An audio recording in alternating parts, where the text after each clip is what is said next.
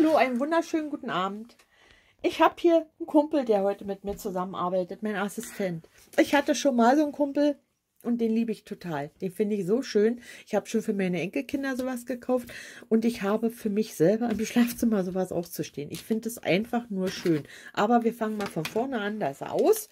Und dann zeige ich euch erstmal, er hat ein Kabel mit dabei, ist klar, USB-A steckt bereits in meiner Steckdose und hier steckt der Stecker für das Gerät drin.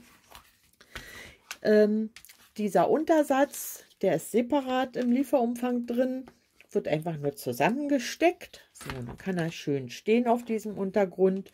Die Arme kann man bewegen. Ja, man kann mit ihm auch ein bisschen spielen. Man kann ihn in Marschposition bringen. Das ist schon sehr niedlich. Dieser Kopf wird durch Magneten gehalten. Man kann ihn auch umdrehen. Das fällt nicht gleich runter. Aber wenn man zu kräftig schüttelt, siegt die Schwerkraft. Also da muss man drauf achten. So, das war das. Hier kommt das Sternlicht raus und hier diese Nebelschwaden, diese schönen, ich sag mal Nordlichter dazu. Ich finde das einfach nur hübsch. Hinten ist eine, ähm, eine ganz einfache Bedienseite. Hier wird ein ausgeschalten. Hier kann man die Sterne schalten und hier die Nebelschwaden, die Farben verändern. Ich habe aber hier die Fernbedienung. In der Fernbedienung sind zwei dreifach A-Batterien drin und wie ihr wahrscheinlich schon an den Amazon Basics erkennt, das, äh, sind das Batterien von mir. Die waren nicht im Lieferumfang enthalten, aber ist ja kein Problem. Ich habe ja für äh, Testzwecke immer welche zu liegen. So, diese Fernbedienung. Ein Ausschalten. Hier kann man timen und hier werden die Nebelschwaden geschalten. Durch wiederholtes Drücken kann man die Farbe ändern oder hier durch diese beiden Tasten. Dann, ja, wenn man hier schnell durchtippt und man hat auf einmal, ach Gott, jetzt war das, was mir gefallen hätte und äh, dann bin ich schon wieder dran vorbei, kann man zurückgehen. Das ist immer ganz gut. Besser als wenn man wieder von vorne alles durchtippen muss, um zu suchen. Und mit diesen S-Tasten kann man bei den Nebelschwanen die äh, Geschwindigkeit ändern bis zum Stillstand. Hier unten dasselbe für die Sterne. Sterne an. Man kann sie dimmen und man kann die Geschwindigkeit dabei ähm, einstellen. Das macht sich besonders, diese Geschwindigkeit für die Sterne macht sie besonders bezahlt, weil die Sterne hier ständig auf und abschwellen. Das ist äh, nicht jedermanns Sache. Meine ist es ganz und gar nicht. Ich finde das immer anstrengend. Und deshalb habe ich äh, das mal so ein bisschen probiert und habe dann die Geschwindigkeit runtergesetzt und auf einmal standen die still. Die bewegen sich dann zwar nicht mehr, aber die schwellen auch nicht auf und ab, äh, bewegen sich nicht, aber stehen eben immer fest am Sternenhimmel.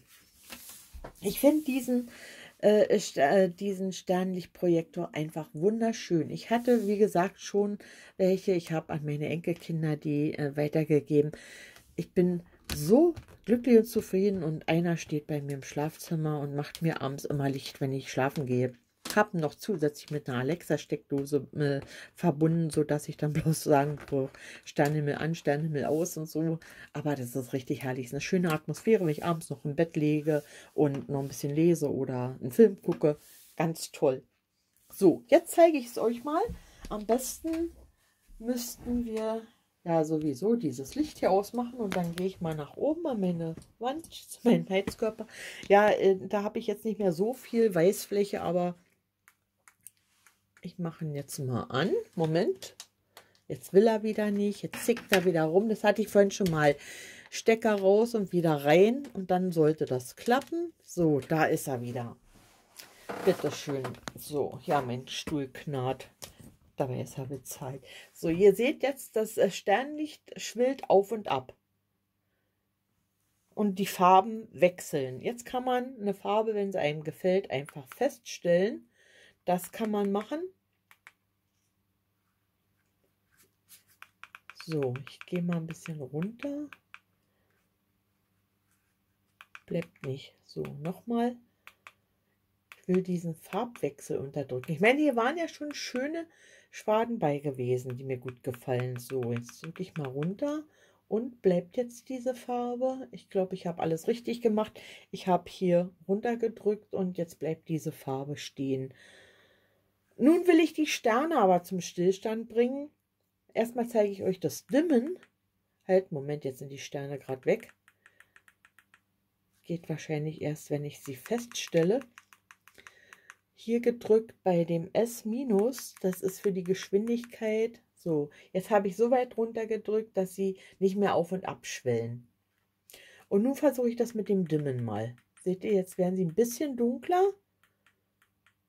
Und das war es aber auch schon. Noch dunkler wird es nicht. Das ist schön. Die großen Sterne sind noch gut zu sehen. Und dann kann ich wieder ein bisschen mehr Strahlen hineinbringen durch Hochtippen. Also es ist wirklich ein ganz, ganz tolles Licht. Eine schöne Atmosphäre. Ich liebe das wirklich. Ich empfehle das auch sehr gerne weiter.